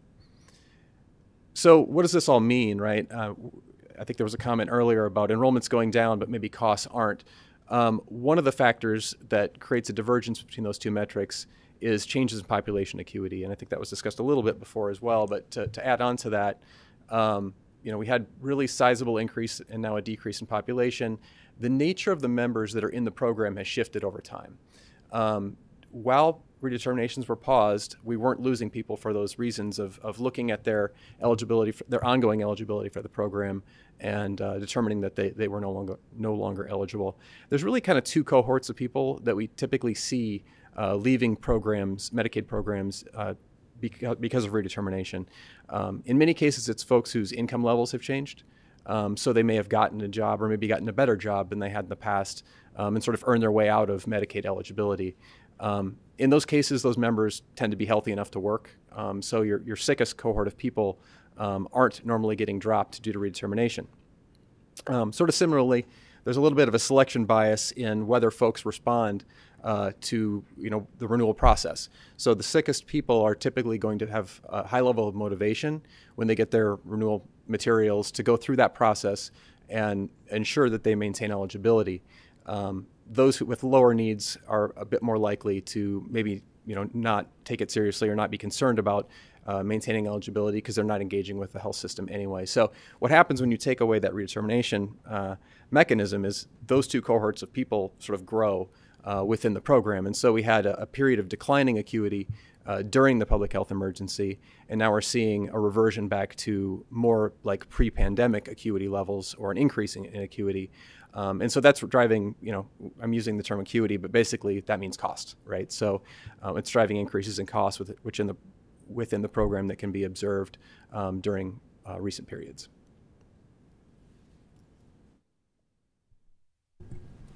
Okay, so these next couple slides uh, cover pharmacy and mental health substance abuse. Uh, combined in 2024, uh, these services are about 44% of the total costs. So when you're looking at you know the trends in these categories, these are major trend drivers across uh, across the program. Uh, other services that we're not covering here have trended uh, at about 2% per year uh, since 2018, so really uh, limited trends on those services. So these two categories represent kind of the bulk of the trends we're seeing in the in the managed care program. um, and, and you'll note we look at uh, per member per month costs here, and that's really intended to uh, separate out some of the vol- literal volume changes from the changes in member cost. Uh, so when we look at the annual prescription drug trends since 2018, uh, that trend has been about 12.3% uh, annually, annually per member per month. Uh, excuse me. Uh, the single preferred, uh, so what we see is that the single preferred drug list, which was implemented in January 2021, and the single P- pharmacy benefits manager, which was implemented in July 2021, have uh, essentially accelerated those pharmacy trends in the program. Um, so since 2021, when those were implemented, the unit costs have been the pr- primary driver of prescription drugs, uh, and that has ranged from 15 to 19 percent per year. Um, so when we talk about uh, single preferred drug lists, what we mean there is that uh, the state is managing the list of drugs that uh, providers are allowed to prescribe to members. Uh, and similarly, with the single PBM, the state is managing the preferred, uh, the pharmacy benefits manager. Um, so they work with the pharmacy benefits manager instead of individual MCOs uh, contracting with their own pharmacy benefits manager. Does the increased rate um, on the chart coincide with any legislative changes? Or is this just a COVID-related type issue, or what does it correspond to? So I, I would say it corresponds to uh, the changes to a single PDL and a single pharmacy benefits manager. Uh, in the top right chart, you can see that the generic dispensing rate, which is proportion of generic drugs, uh, decreases by about 4.5% in 2021 when those were implemented. Uh, and since then, we've seen continued elevated trends. I think you have somebody in the back that may have something on that. If you will, come to the, come to the table so their mic can pick you up so that there's a good recording for everybody. I would concur with uh, the previous speaker, but I would also add the advent of new drug classes to the general population, including GLPs, uh, is definitely a reason for this to occur. And then the wide adoption of GLP beyond its initial uh, indicated use. So for us non-medical people, GLP. So GLPs, it's the drug for weight loss that you see on TV. It's broadly distributed by multiple drug companies now. It's initially used for diabetes. That's how it was initially indicated, but now you see a broader use for weight loss all the way in kids up to 15, 16 years old.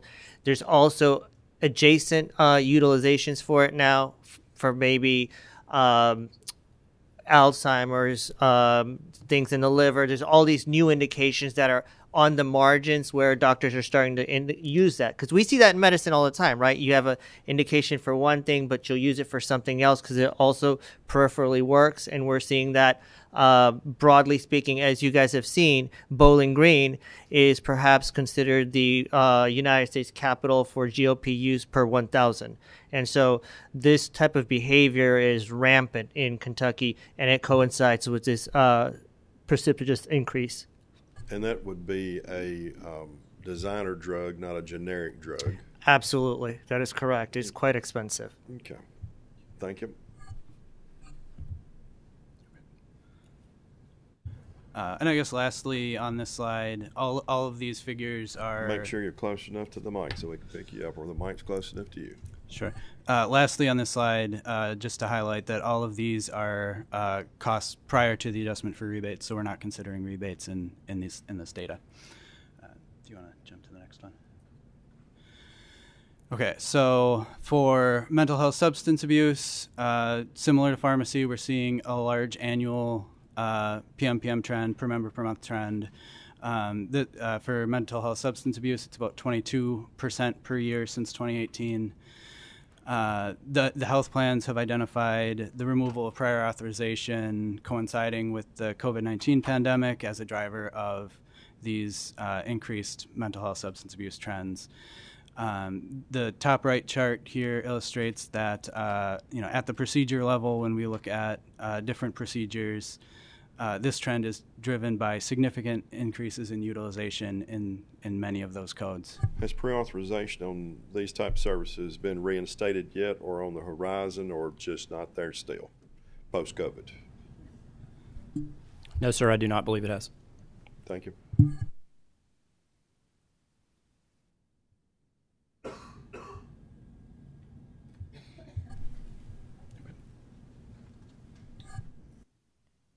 Uh, Mr. Chairman, that was actually the, the last slide, other than some informational disclosure disclaimer I'm sorry, stuff. I got in the I got in the attorney mode, and I was reading the caveats and disclosures. They were quite. and they are a healthy list. uh, uh, what I would suggest, if if it's um, meets with your pleasure, sir, um, if you have specific questions for our actuaries, we can certainly engage in that, or we could bring Dr. Patel and Ms. Stearman up if there are more nuanced questions related to specific Kentucky policies. Yeah, th- this is one of those places where, unfortunately, I find myself in not knowing exactly what questions to ask, and the concerns that uh, Representative Bowling has um, has iterated once or twice. Um, we have an expansion population since around 14 or so. We've got a 10 year history of that. Uh, we've got COVID that pops up post COVID era. And it, as I look at other states, it looks like enrollments uh, go down, and we seem to have some of that going down. But their costs continue to go down, and our costs are continuing to go up at a fairly high rate. And I think there's only about six or eight states that are in that trend, and everybody else is in a different trend downward. Um, not only that, but back to a prior point, health rankings. Imagine how much money has been spent on Medicaid expansion since 14 to present, state and federal. It's all taxpayer money, but in particular the state for this committee. And um, our health outcomes um, have maybe an appreciable uptick of some sort, but uh, not in comparison to the ROI that you would expect from massive amounts of money being spent and coverage being afforded. Affording coverage does not afford better health outcomes. There's something else missing in there. Um, so just trying to wrangle the animal. Is there any kind of trend that you see that would result in increased costs, even you know like primary one, two, and three, or one and two, cost drivers up while our enrollment is going down? Yeah, I think, I mean, the three areas that we focused on here, I think, are three of the primary areas to focus. Um, as Andrew mentioned, the two categories, the, the pharmacy and the mental health substance abuse, is about 44% of the total spend that we see. So, you know, close to half. And we've got trends of 12 and 22 there. So that gets you well into the mid teens when you look at those types of services. Um, he also mentioned, and I don't think this is in the slides, but just to, to reiterate it, the other 56% is trending at about 2% a year. So, you know, not that there is nothing in that other 2% that you could also look at, but clearly the, the primary areas are, are these two. And acuity is reflected in all of it, right? Like you can't separate acuity from, from pharmacy because it affects pharmacy, it affects mental health, it affects inpatient. Um, but and that's that's more of a broad issue, right? Like every if we look at that enrollment curve again, every state has a curve like that because everybody experienced that same increase and is now experiencing the decrease. Um, that's more of a temporary thing. Um, acuity is going to stabilize, at, you know, and maybe it already has now, because we are through that unwind and enrollment levels have stabilized. But these mental health, um, substance abuse, and pharmacy issues are more durable because those are obviously services that are going to continue to be provided um, into the future as well. Representative Bray. Thank you, Mr. Chairman. Um, on the GLP ones, uh, Kentucky ranks. I mean, if you look at the whatever ranking, I mean, we're in the top ten most obese states in the in the nation, um, which has a dramatic effect on health outcomes and obviously the cost of uh, of healthcare.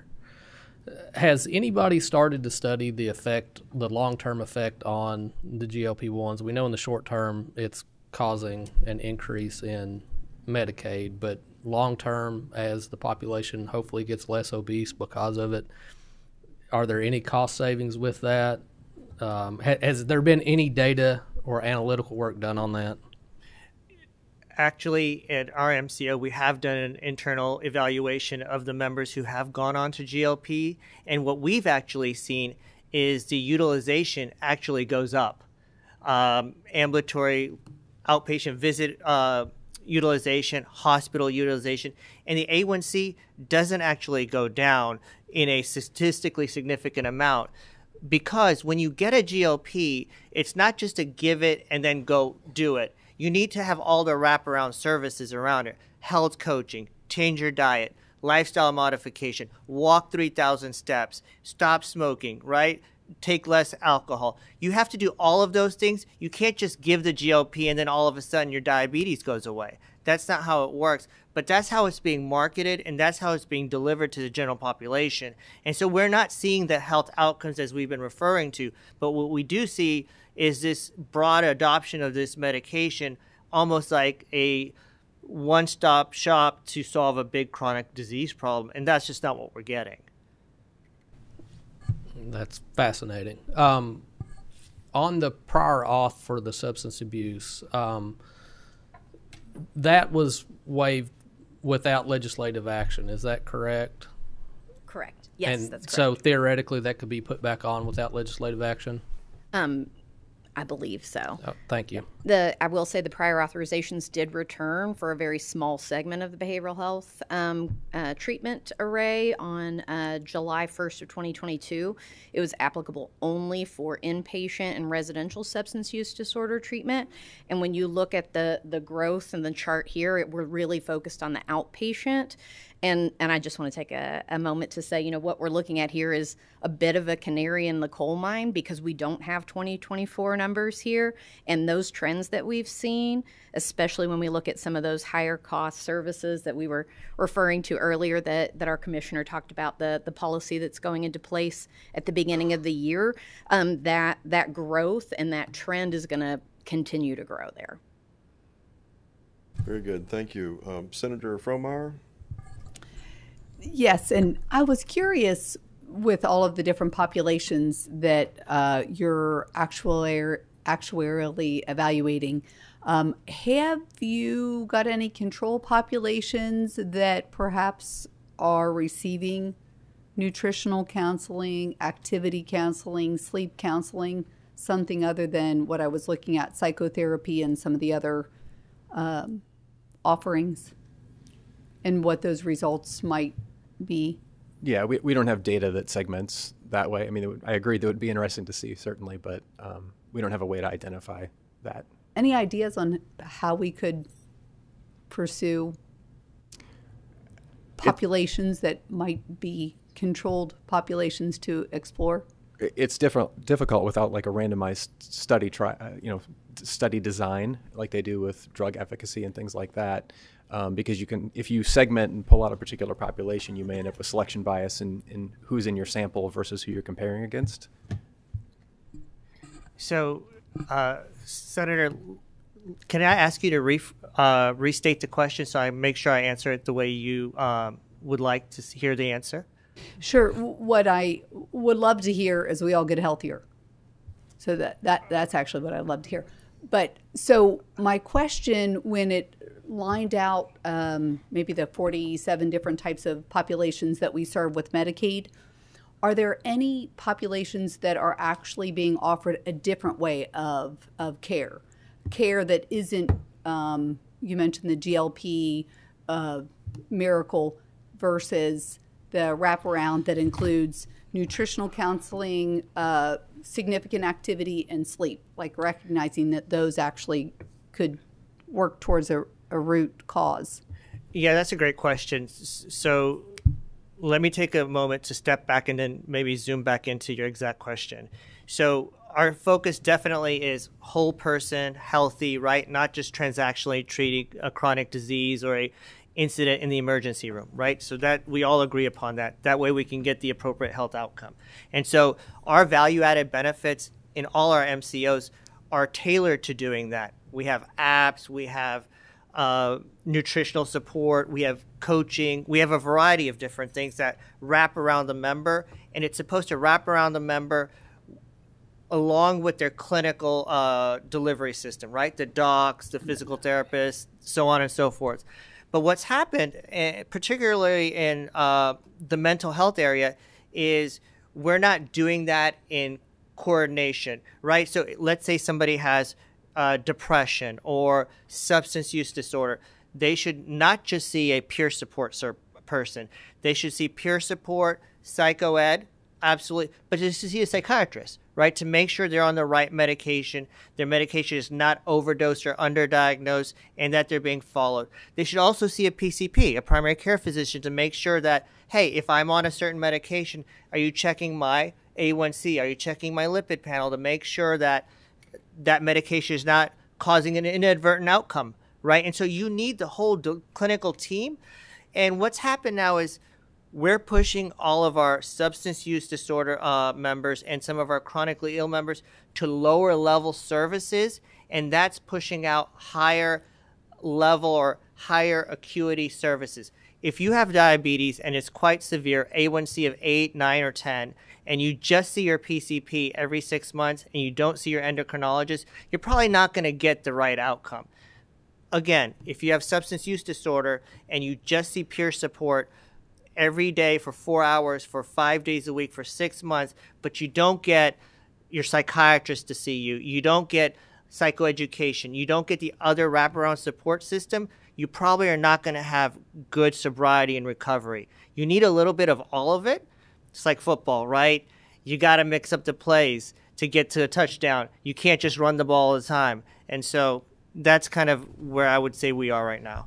Thank you, and forgive me. This that's probably more of a health services question, but I am super concerned about this 68 percent increase in the spend and such. Thank you. Very good. Representative Fleming.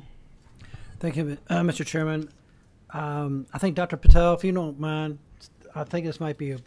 It sounds like you've got a pretty good handle on on the behavioral services for the most part using the slide that's up there right now, I think the first one is uh, 97 153 that has to deal with technicians um, in terms of support. that's a that's a you know an increase of 132 percent. When you look at um, the peer support, which is the H0038, and then the 9791, which is a assessment. Um, could you give me what's what's driving, uh, particularly the first one, the um, the technicians, and then the uh, peer support? Because you just said I thought peer, peer support is one of the process. You try to expand that more, but if you're looking at 104 percent increase based on that chart uh, from 2022 to 2023, that's almost you know almost a million dollars uh, in doing that. Which which driving that, and um, and then dovetailing that, not to complex things, but in the mental health field, there seems to be a lack of outcomes, measurement outcomes, and what they're trying to do because in the mental health professional, you know, usually on the EPAs, you know, you only have six or seven or eight. Well, once of that, you're cut off, and then and then if you don't have a program to subsidize that, that person's out out of luck. And I I can go on EPAs about all day, but that's another issue. What's what? Those are I guess two different questions. Could you give me an explanation what's driving those three particular CP, uh, CPT codes? And then what are the outcomes that we can use to help we can put that into our process as we as legislators could look at to provide MCOs to provide that those outcomes for mental health providers to get individuals in a better position, you know, eight sessions down the road or 10 sessions down the road? Sure, yeah, I'll talk a little bit. Say, sorry. Okay, I'll talk a little bit about the, the driving trends on the specific CPT codes. Um, you, you called out the H0038, which is the peer support, but I think we also need to talk about the H2027 simultaneous to that because those are the two, two of the codes that, that what is what we see really driving the trend okay. and worsening some of those outcomes. So you talked about like the in behavioral health, it is very challenging to sort of all agree on some outcomes, but we are seeing outcomes when we when we have our folks to Dr. Patel's point, who are not seeing clinicians, they're not seeing independently licensed therapists, they're not getting therapy, they're not getting psychiatry, but rather we've we've really morphed in this state. Um, on, on some providers to a lower level um, of care and service and planned treatment plans.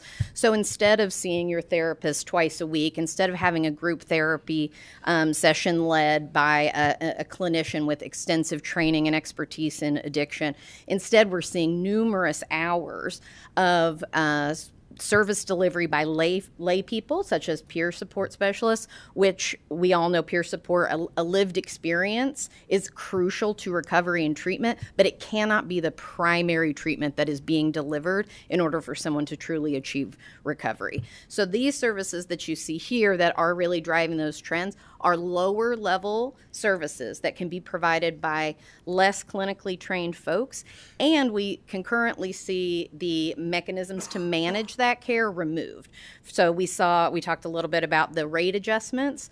Um, our psycho at the H2027 the psycho um, psychoeducation code got a 240% increase on a single date and time last year, which has driven that that utilization up while we are paying more for these lower level services, there there are no prior authorizations. To, to me, I mean, not, not to me. Not let me interrupt you. Oh, no, when you say when you say lower level, I mean mm-hmm. to me, I know where you're coming from, mm-hmm. but the average person is like, are they getting less quality service? Are they are they providing? Are they are they? They're not yes. quote unquote a license, but are they really? When you say lower level, to me that's more of a negative connotation. Yeah, and I want to make sure you're clear that because sorry, that's yeah. where most I assume most people go down that path. So yes, could you and clarify? Maybe use maybe a yes. little better terminology. sure, sure. And I, what I really mean is a non-clinical service. So most of the services and treatment that that we that Medicaid is allowed to reimburse for have to be evidence-based. They have to have national uh, care guidelines and generally must be delivered within a treatment plan that's been um, designed by either a, a, psychiatrist, a physician, some sort of a medical professional with extensive um, licensure training and oversight from various different boards. Unfortunately, what we're seeing is we are paying a higher amount of, of Medicaid dollars to less um, evidence based services.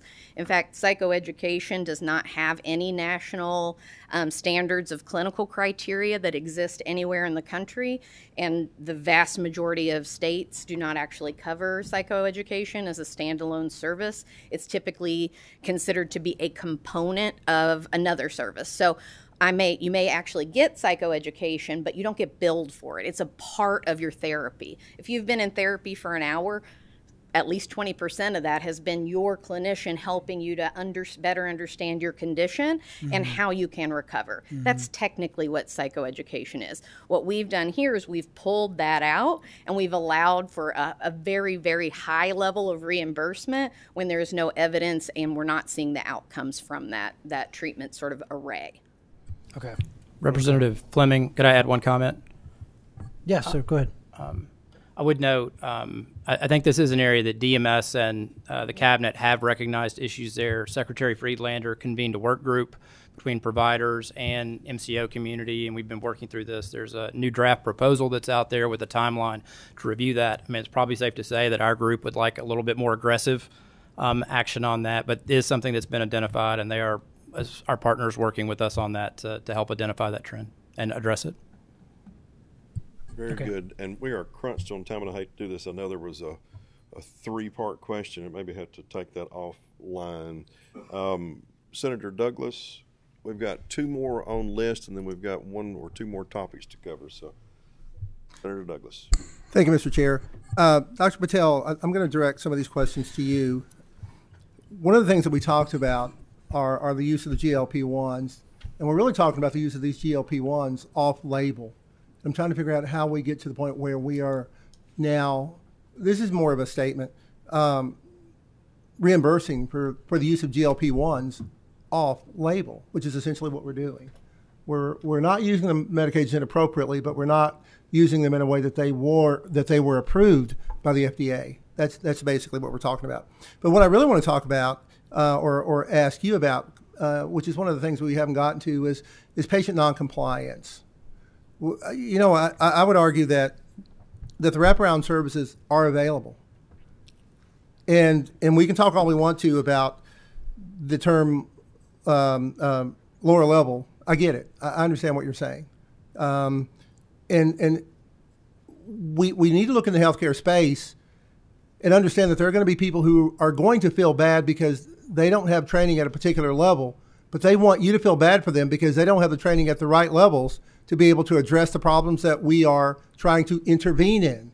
And we somehow have placed feelings above the objective need that these patients have to have the, the appropriate intervening persons and the appropriate care. I'm not quite sure how we got there in our healthcare space um, as well. So, but but but Dr. Patel, I'd just like to have you uh, address some of the noncompliance issues and the lack of expectations that we have for those people who are receiving the care.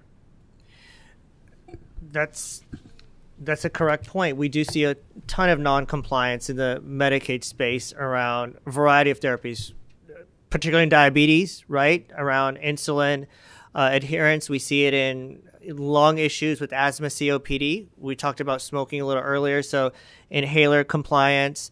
Uh, sm- ongoing smoking. And, you know, part of what we have to do as an MCO and a healthcare industry is to activate the member, uh, engage them in their health, and then meet them where they're at right? We have a lot of rural members, and so how we can meet them where they are in their rural community, activate them, and improve their health literacy to give them the correct information that they need that's absorbable and digestible by them and their family so they can improve their health outcome. So that's an ongoing journey. We have a great partnership with DMS and a lot of FQHCs and local um, community based providers to help move that. But that's a huge lift.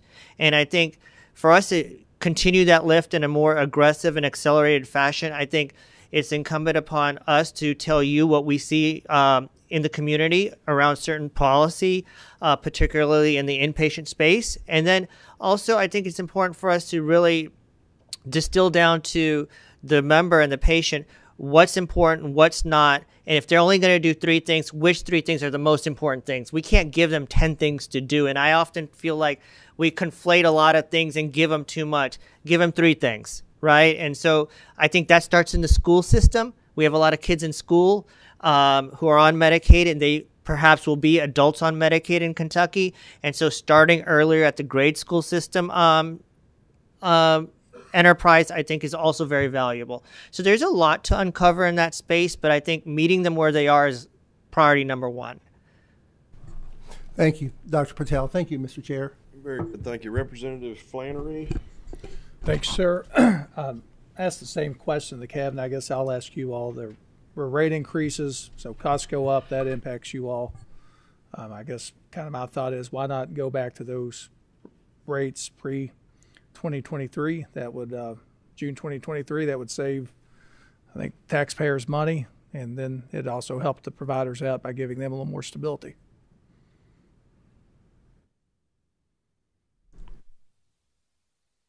And I, that's a great question, Representative Flannery. I don't know that I have any specific insight into the the specific items that you're you're referencing. Um, you know, it, it part of a is broader like takeaways from the context of the conversation today. I mean, I think we are seeing a sicker population that has stayed in Medicaid. We're seeing increased drivers of cost related to pharmacy, and we're seeing a huge increase in cost directly related to uh, the lack of prior authorization in behavioral health. I mean, those are sort of the three bullet points that I think our group, if we were going to circle those and provide that feedback today, that's what it would be. Follow up? Finished? I mean, that's a response. I mean, I don't know that that's really an answer, but. Um, can you ask the question one more time, if you don't mind, so I can make sure that we do give you a satisfactory answer? Um, so, there were particularly in the behavioral health space, substance abuse space, there were reimbursement rates that went up around June of 2023. Um, so costs go up, that impacts an MCO. I understand the math on that, while you all would have a concern on that. My thought process, there didn't seem to be as much of an issue prior to those reimbursement rates going up, so why not just go back to the pre June 2023 rates it would probably save money. It'd give more stability to providers, cause less disruption to patients that are relying upon certain healthcare services. I mean, why not do that?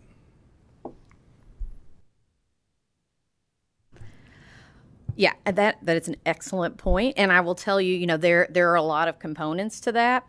That is because we have so many um, MCOs in the state, and we are all very focused on improving those health outcomes. You guys were talking about, you know, which which numbers we're looking at. Our ultimate goal is to make sure that Kentuckians get more healthy. As a lifelong Kentuckian and working in the social work space and behavioral health and mental health for the last 25 years, that is our primary goal. So don't think that that was not considered considered. What we do have to consider is ensuring that our members continue to have access. So, if we were to cut some rates, would we lose some providers in the space that then we have pockets of the state or pockets of our population that then no longer have access to care? So, we were there were a lot of mechanisms that that managed care can actually try and employ to rectify some of those things.